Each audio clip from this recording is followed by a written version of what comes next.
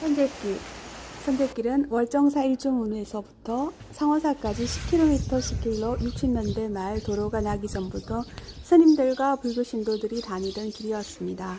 선제길을 천천히 걸으면서 옛 사람들이 살았던 흔적을 통해 과거의 문화를 만나고 우대천을 품은 아름드리 숲터널을 지나면서 다양한 동식물 친구들을 만나볼 수 있습니다. 팔가구청 석탑 팔각 구청 석탑은 월정사의 대표적인 문화유산으로 신앙의 중심인 승보물이다.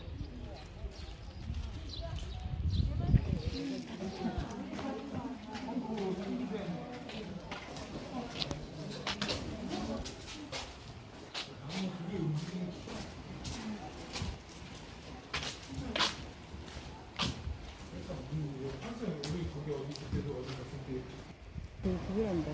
기원.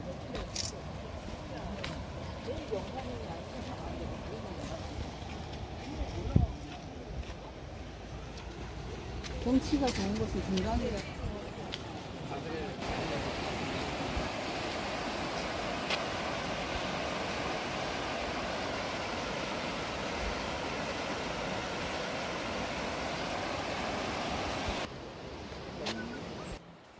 어...